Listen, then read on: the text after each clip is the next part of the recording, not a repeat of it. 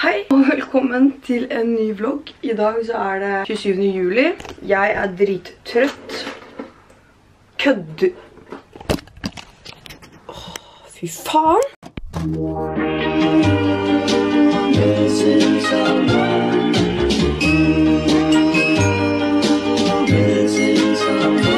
Missing someone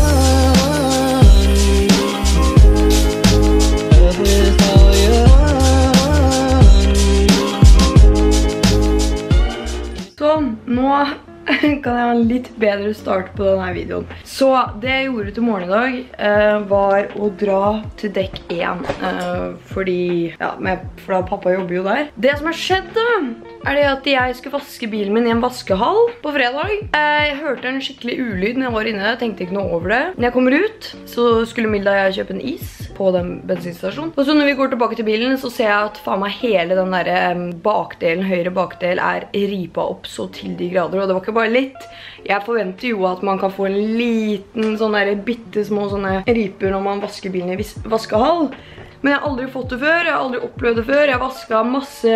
Jeg vasket all bare ikke med den her nye bilen min da, som er en hvit Auris. Så eh, ja, den ble bare ripa helt opp, så jeg fikk skrevet skademelding. Og i dag så tok pappa igjen takst på den, for å sjekke hvor mye det kommer til å koste. Og så skal forsikringsselskapet mitt og krangler om hvem som skal betale, og det er faen ikke meg.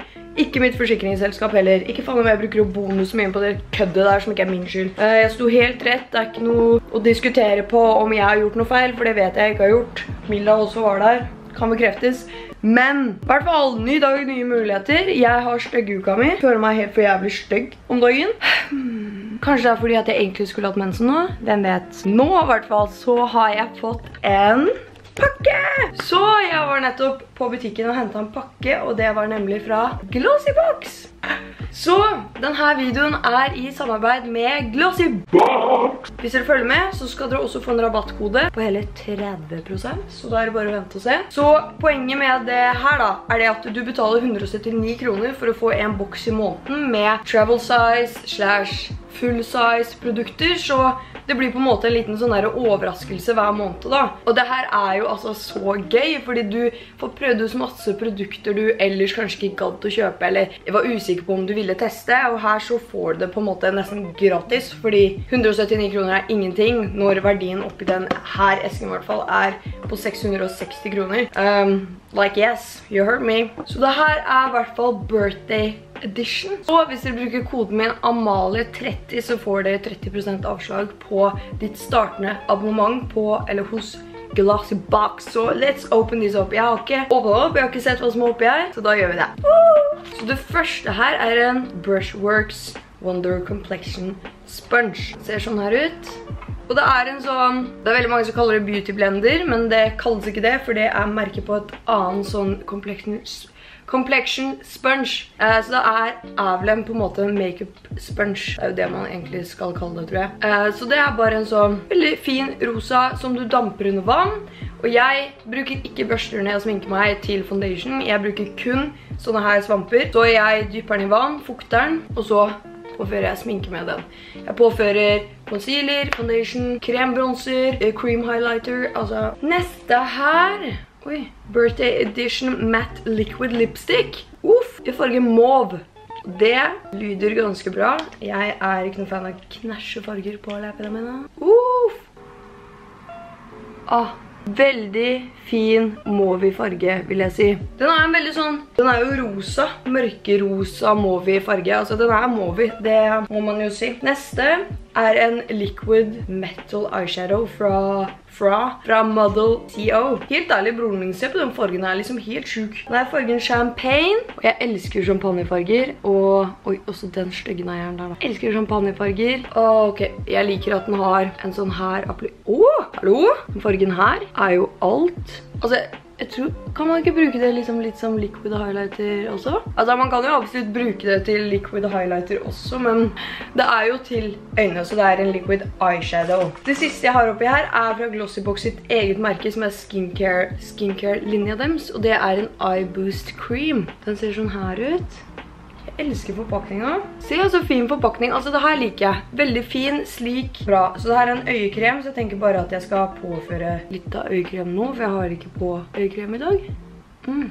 Lukter egentlig bare hudpleie, på en måte. Det lukter liksom bare hudpleie. Så jeg bare pleier å påføre litt sånn rett under, selvfølgelig, og så litt ut sånn her og over øynene. Nei, den likte jeg. Den var veldig god. Veld, veldig god. Ga litt glød. Så da må dere huske at koden Amalie30 gir dere 30% rabatt på deres neste altså abonnementbestilling hos Glossybox, og den koden varer ut august. Og hvis dere da har lyst til å prøve masse produkter sånn som jeg hadde muligheten til nå, så er det, altså det anbefales, det koster seriøst 179 kroner hver måned for en eske stappa med godsaker. Jeg er veldig fornøyd. Jeg kommer absolutt å fortsette med det her. Så det var egentlig det jeg hadde vist dere fra Glossybox. Nå tenkte jeg egentlig bare å ta dere med på den dagen her. Det er absolutt ingenting som skal skje i dag, bortsett fra at jeg skal filme denne videoen og redigere på kvelden. Litt kjedelig sommer. Jeg synes at den sommeren her suger så forferdelig mye. Jeg har liksom ikke motivasjon til noen ting. Eh, det er dårlig vær. Eh, hvis det er fint vær, så er det bare kaldt. Så jeg har tatt litt sommerferie på en måte ubevisst. Så ja, vi får egentlig bare se hva den dagen her bringer. Eh, håret mitt er også helt ute å kjøre kanonball, holdt jeg på å si. Vasken min er tett, så det skal vi også få fiksa i dag. Jeg prøvde Plumbo i vasken, funket så jævlig ræva. Så pappa ga meg noe sånn der sparkling liquid, sånn crazy shit, liksom. Så vi får se. Um, jeg er også hes, fordi har vært litt mye festing i det siste for meg. I hvert fall som ikke pleier å dra ut hver helg engang, så har det vært mye festing. Kanskje jeg skal være et dårlig forbilde og ta litt solarium i dag også. Hvem vet? Den dagen her kan bare gå oppover. Fy faen, altså i dag er en så jævla fitte møkkadag. Sorry. A little more tan, a little more color to this dead face. Jeg var et dårlig forbilde, tok solarium. Nei, jeg har ligget i solarium og hørt på Call Her Daddy-podcasten. Og fy faen, jeg elsker den podcasten her. Jeg tror jeg har kommet på sånn episode 10. Jeg elsker den. Jeg hører på den når jeg dusjer. Hører på den når jeg sminker meg. Hører på den når jeg tar sol. Hører på den når jeg kjører bil. Det, det er den mest geniale podcasten. Uh, utenom Iselin Guttormsen sin G-punkte. Det eksisterer. Det er så mye bra tips, til både gutter og jenter der. Seksuelt, uh, romantisk messig. Altså, det er bare, er bare livet, liksom. Jeg elsker den podcasten. Og fy faen, de to jentene der. Nå kommer det en bil rett ved siden av meg. Det er dritkleint. Jeg er bare på sesong 1, så jeg har ikke kommet så langt. Og nå skal jeg på butikken, kjøpe inn til middag. Begynne å lage middag. Så får vi bare se. Jeg tror jeg må bare hjemme i dag fordi jeg kjeder meg. Og jeg er ikke helt uh, notch today, so yeah. Ok, hjemme fra butikken. Det ble jo plutselig inn i helvete så varmt ute. Altså, jeg svetter jo i hjel. Men jeg kan vise hva jeg har kjøpt. For så mange synes det er så sykt spennende å se hva jeg har kjøpt på butikken. Men ja, ja. Life is another adult. Isbytter, Så jævlig. Ja. Sånn her er pasta. Fordi jeg skal ha pasta til middag i dag. Syltetøy, fordi jeg savner å ha peanut, peanut butter, jelly, løk, avocado, hakkete tomater, krydder, pålegg, smørost, grønnsaksbuljong, balsamico, fordi det er dritgodt på salat, det er dritgodt på jordbær, det er dritgodt på mye, og jeg har egentlig aldri kjøpt det. Jeg kjøpte noe som jeg trodde var det. Jeg kjøpte balsamico, men det er ikke sånn balsamico jeg skulle ha. Kjøttbuljong, altså av okse, hvitløk, samme dolt shit. Den her som jeg fikk av pappa, som er Sour Power, som jeg skal bruke i vasken for å få løsne opp i rørene. Det er dønn tett. Et brød som er havregull, eh, som er full på grovhetsskalaen. Veldig viktig for meg, fordi det holder meg mett lengre. Altså den styggeste lille basalik basalikumen jeg fant. Altså, hva faen er det her for noe? Jeg vet ikke hvor mye den kostet engang, men det her er jævlig dårlig. Det var den fineste av dem, og halve dritten har råtnet. Det er jo faen meg mugg nedi her. Ah, dårlig, dårlig butikk. Favorittpålegget mitt, Silania salami. En søtpotet, fordi jeg liker å lage søtpotetchips og sånt. Hva som helst. To lime og en sitron.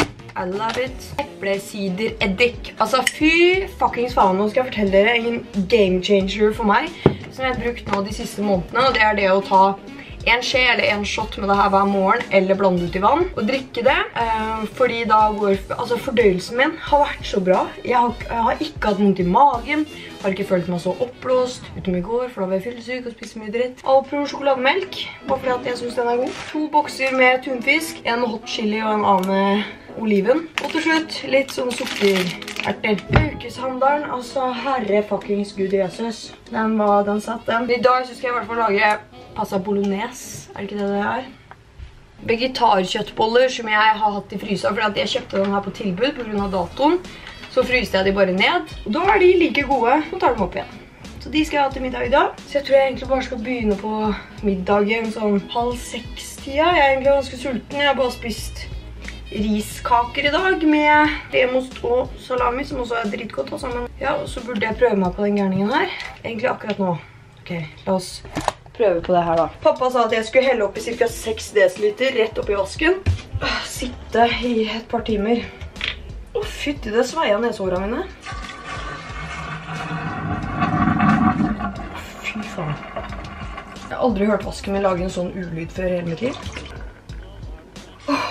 Altså, se nå, se nå, Synne. Se nå! Se nå. Altså, se der, den stygge gugga der kom opp når jeg helte opp sånn her. Kanskje dette var det shit. Jeg tror det her er... Å! Oh. Oi, hva er det som skjer? Oi! Ah, herregud! Ah.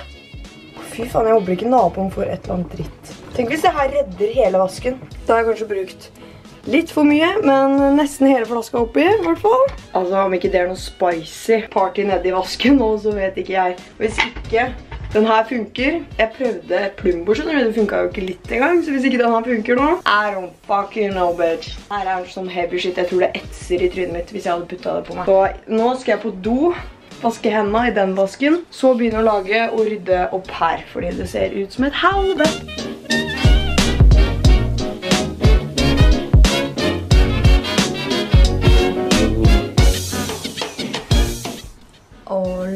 Så her ble bolognesen min med veganske kjøttballer. Jeg tror hele er vegansk, det er ikke noe melk oppi i hvert fall. Ah, digg! Jeg må jo smake på kamera, hvis ikke så er det ikke noe gøy å se at jeg lager mat i det hele tatt. Mm. Fy faen! Mm. Da har klokka blitt halv åtte på kvelden. Er den her helt sånn teit i dag, eller? Jeg har eh, nå sittet og betalt litt eh, regninger, forskuddsskatt, for at det var litt... Shut the fuck up. Men jeg følte meg litt sånn dårlig til morgenen i dag. Men nå så føler jeg meg bra etter jeg har spist en god middag. Og det beste jeg vet er liksom sånn hjemmelaga mat. Så så jeg ferdig den der Kissing Boot-videoen, filmen. Eh, den toeren. Ja. Så nå skal jeg redigere den vloggen dere ser på nå. Um, så det blir gøy. Jeg har jo ikke gjort så jækla mye i dag, men dette er en sånn kjedelig sommerdag for meg. Uh, Content-messig så suger jeg som svarte granskauen i det siste. I know, I'm aware. Det går i perioder, og akkurat nå så har jeg en sånn periode hvor jeg liksom ikke egentlig har så ekstremt lyst til å sitte og redigere og holde på. Og jeg er ikke så kreativ. Jeg er i en dårlig kreativ periode. That sucks. Nå skal jeg i hvert fall begynne å redigere den vloggen her, og så får jeg egentlig bare se hva dagen bringer, kvelden bringer. Bye, bitches! Hei! Ja! Det her tok jo en eh, ekstrem vending, fordi jeg har jo ikke egentlig følt meg sånn top notch today, like my usual self, like today I was like men jeg var jo så gira på livet plutselig at jeg tok meg en treningsøkt. Jeg hadde dårlig samvittighet i hele dag for at jeg ikke har trent. Typisk meg å bare ha det sånn, men det er fordi jeg har vært sjukt dårlig på det. Bla, bla. Hvem bryr seg? Gulp. Men jeg tok meg en økt. Så når jeg ikke trener crossfit, når jeg ikke har eh, sosiale antenner nok til å dra dit, så pleier jeg å trene Chloe Ting eh, sine økter. Og nå har hun laget en Summer Shred Challenge for 2020. Det er den jeg trener litt på her og der. Og ja, det var veldig deilig. Jeg tok fire videoer i dag, så jeg er veldig stolt. Uff, helt ærlig da, broren min ser på den armen her da. Og nå er klokka halv 11. Halv 11 snart, så jeg tenkte egentlig bare avslutte vloggen her. Jeg vet at det her er uinteressant, men det er mange som spør om jeg fortsatt kan filme selv om jeg ikke gjør en damn shit. Så det er det jeg gjorde i dag, og content-messig så har ikke jeg lastet opp så mye det siste heller. I'm sorry. Og jeg lover å komme 100% tilbake når sommeren er over. Det er kun fordi at vennene mine er hjemme nå, har mer lyst til å på en måte være med dem enn sitte med trynet mitt ned i en skjerm. Det er synd, men kommer videoer her og der. Um, men nå, den sommeren her, så skal jeg liksom prøve å fokusere på meg selv. Som jeg har sagt, så har liksom psyken og humøret mitt vært sånn her. i det siste. Så jeg tror det på en måte har vært bra for meg å bare just like be me.